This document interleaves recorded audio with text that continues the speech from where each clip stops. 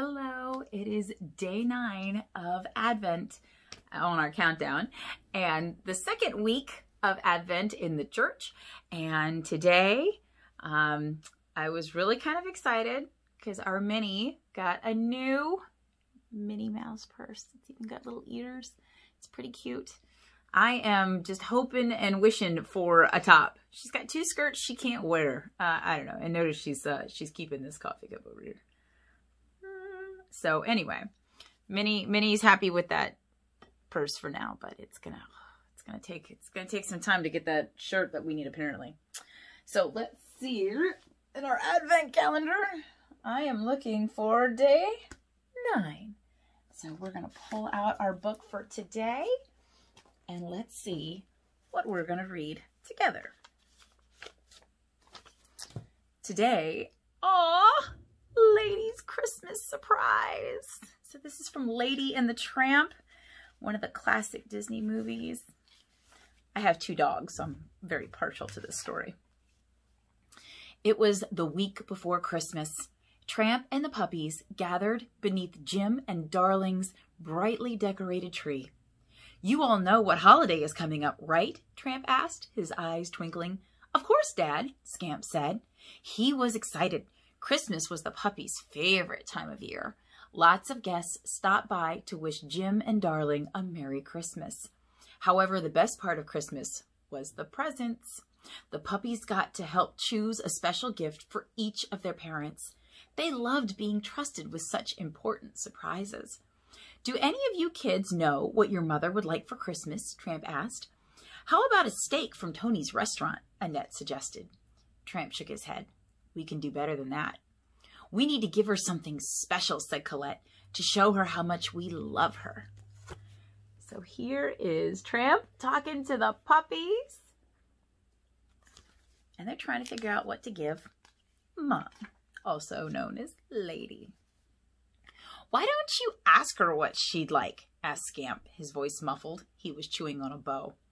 We want to surprise her, Tramp reminded his son. He nudged him away from the presents. That's the fun of Christmas. Maybe we'll find something on our walk today, Annette said. Tramp thought that was a good idea. While Lady was taking a nap, he took the kids into town to look for the perfect present.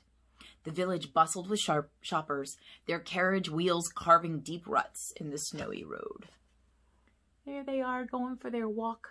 And this is back before a lot of automobiles, so people still had carriages with big wheels.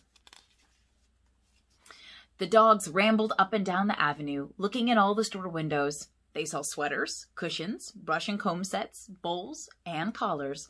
But Tramp knew that none of these things were the perfect gift for Lady.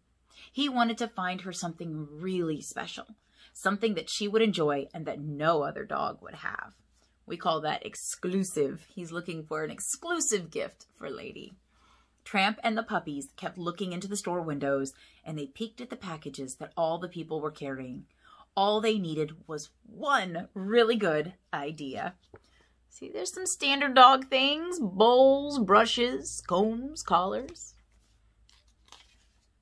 You know what my dogs like for Christmas? Treats. they like to eat special dog treats. When the sun started to sink in the sky, Tramp turned to the puppies and said, We'd better head for the alleys and dig something from the trash.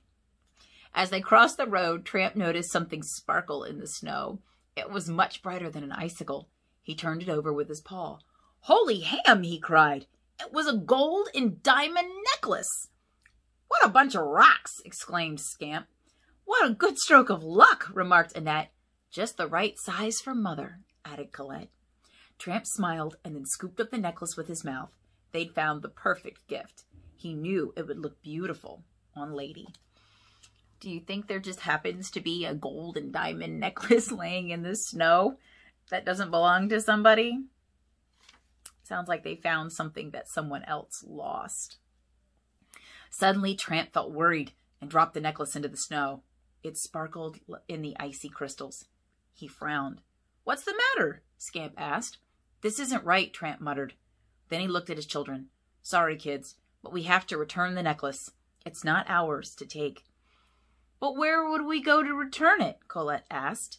Yeah, it was just here in the snow, Annette said. How would we even find the owner? I say finders keepers, Scamp cried.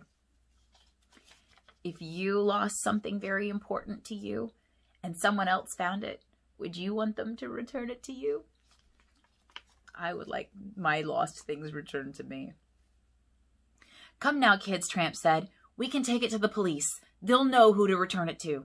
With the puppies following, Tramp bounded down the snowy street to the local police station. And they're going to the police station. Look, they've got it. What a pretty little necklace. Look at that. Inside, officers hurried around, taking phone calls and writing reports.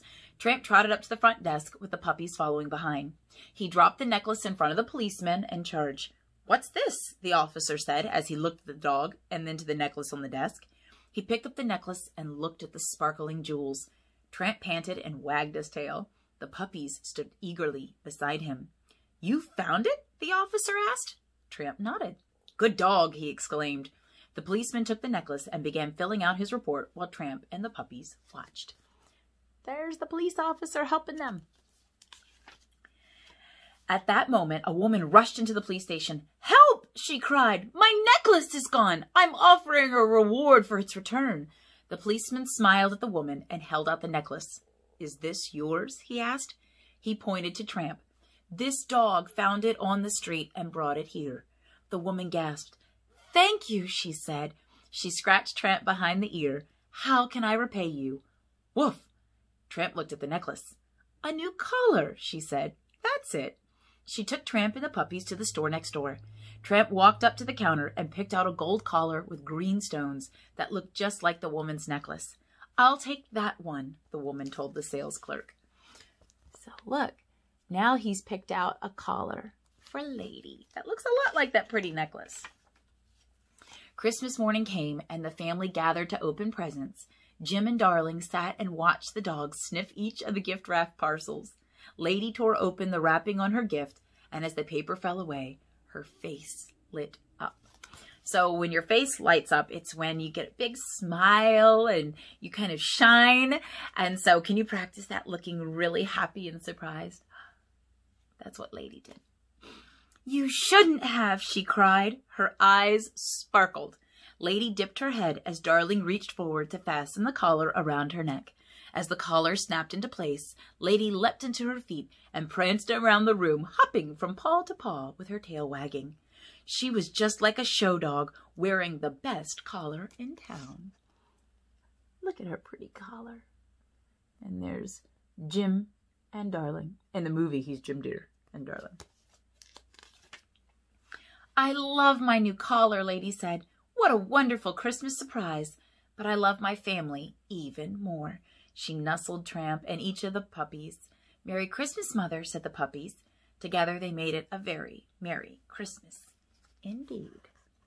There they all are. Everybody's got their collars. Very nice.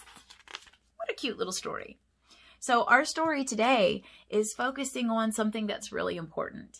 Yes, when we feel very strongly about our friends and our family. We want to get them a really special gift because they're special to us. But as Lady said, what was really the best thing are her family and her friends, her relationships. So even though we feel that really strong desire to find the perfect gift, really what we want to do is just let somebody know how special they are to us. That is the best gift ever. And as an adult, sometimes I manage to find the perfect gift for like my parents or my son. Uh, but sometimes it's really just about letting them know how special they are. And that we can do, not just at Christmas, but all the time. Every time we see somebody who is special to us, we can take the time to tell them, to show them with our smiles, with our hugs when it's safe, and certainly with our words. And then if we have the ability and we want to, then we can do it with a special gift. But we shouldn't just limit telling people how special they are to Christmas. God certainly didn't. Christmas was just the beginning of God telling us every day how much God loves us and is happy that we are God's. And so you can follow God's example and do the same thing. So this was a fun little book. I like reading about the dogs. This year, our dogs are going to be getting special treats like they normally do. And um, my parents are coming over and my son will be here. So all of our family will be together, which means that our puppies will be getting lots of hugs and kisses and cuddles and probably people feeding them people food, which we're not supposed to do. So we'll see. We'll try to limit that and have more and more safe dog treats on hand.